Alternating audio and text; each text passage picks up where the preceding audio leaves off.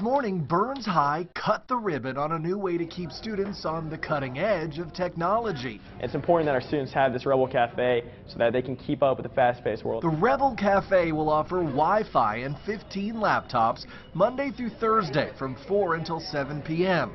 Teachers or administrators will be here to supervise. It's just a great learning environment. Student body president Harry Stathakis says this gives him and other students a safe, convenient place to work together on homework and projects.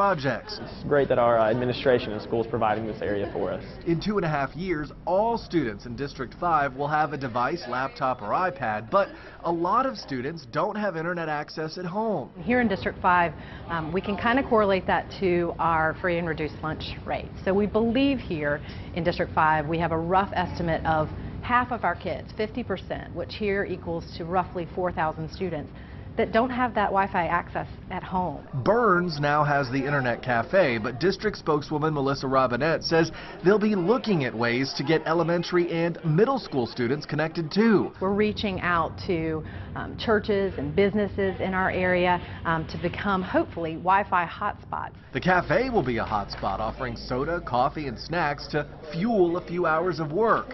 Student organizations will get a portion of the proceeds by having their members work here. Byrnes High School is heading in the right direction. We're making uh, great gains, and we're happy to learn, and we're you know ahead of the game. Connecting students to the web and the future. Mike McCormick, WYFF News 4, Spartanburg County.